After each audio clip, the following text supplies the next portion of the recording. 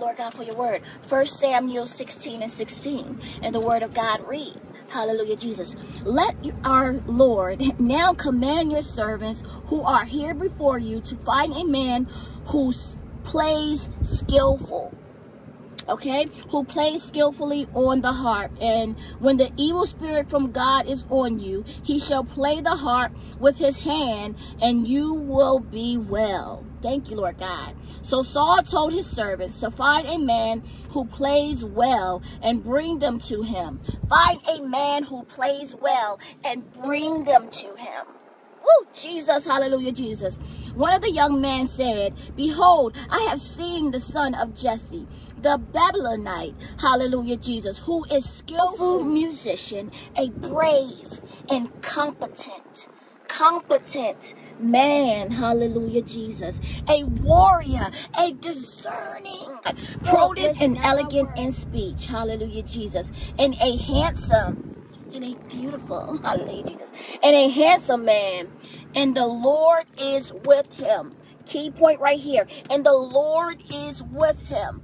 He not only had skills for the job, he was he didn't just have the look. Yeah, he had the look too. Hallelujah, Jesus. He had all the skills. He had the look. He was the full package. But the main thing it says right here, the Lord was with David. That's why he was equipped for that assignment because the Lord was with him. Listen hallelujah, to this. Jesus. Hallelujah, Saul Jesus. said, Hallelujah, Jesus, send messenger to, to Jesse. Thank you, Lord God. Send me David Send me bliss. Send me, insert your name, please. Send me bliss. Hallelujah, Jesus. Thank you, Lord God. Your son who is with the flock. Your son, hallelujah, Jesus, that's hidden. Your son, that's hallelujah, Jesus, that's the underdog. Your son, that's still in the background. Your son, hallelujah, Jesus, that's last. Your son, hallelujah, Jesus, as everybody is overlooking. Send me bliss. Send me, insert your name. Send me David, your son that's looking over the flock. That's not even in the house. The one, hallelujah, Jesus, you barely notice or you and you pay, don't pay attention. Send me that one. Then David came to Saul. Thank you, Lord God. Hallelujah, Jesus. And attended to him and attended to him. And Saul loved him greatly.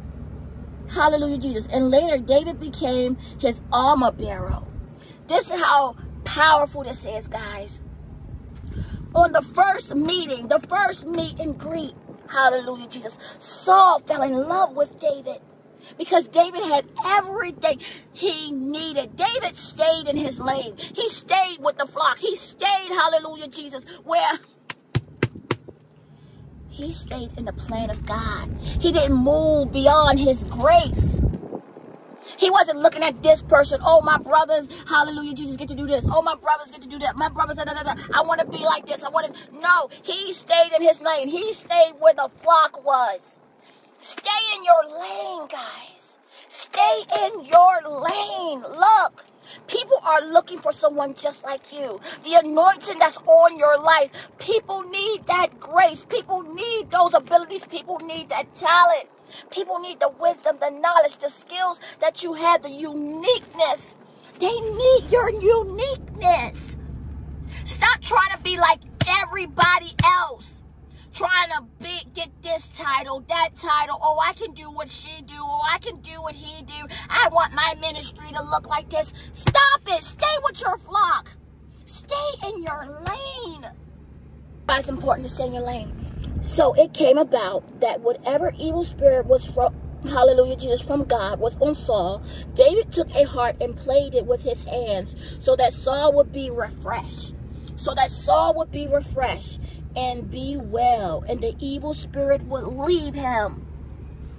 So whatever lane it is, whatever uniqueness, whatever abilities, whatever plan, whatever vision God has given you, please, I'm telling you to stay with your flock. Stay in your lane.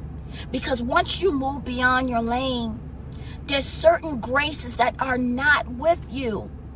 All right, real quick, quick. This is quick. I want, I, I want to encourage you guys. So the reason why I say it's important to stay with your flock, to stay in your lane, right?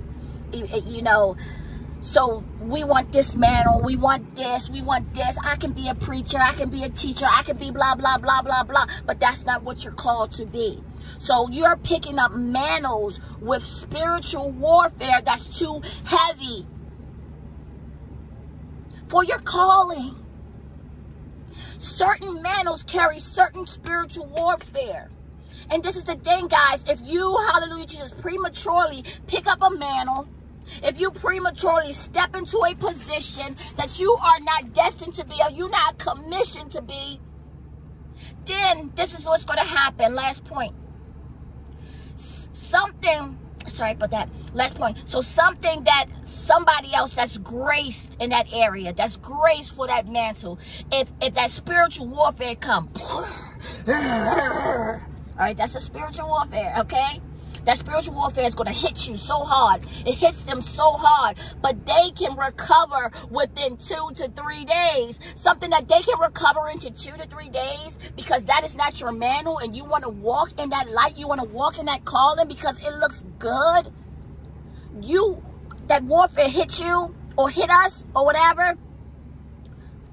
We takes take us years to recover. It may take us years to recover months to recover.